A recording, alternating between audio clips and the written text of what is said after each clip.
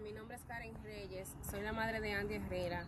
Acabamos de salir de diálisis hace unos minutos y estoy haciendo este video para pedirle ayuda a nuestro país, República Dominicana, al presidente Luis Abinader, a la primera dama Raquel Arbaje y a la vicepresidenta Raquel Peña. Por favor, necesitamos su ayuda para que Andy pueda tener su trasplante de riñón, ya que con las diálisis él no recibe los nutrientes necesarios para su corazón y puede traerle problemas en su corazón trasplantado. Yo he luchado mucho desde chiquito y quiero seguir luchando.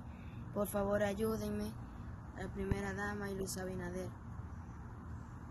Eh, estamos aquí en Ginsberg, Florida, Estados Unidos, y de verdad tenemos una visa de turista, la cual tenemos que estar haciendo renovación cada seis meses.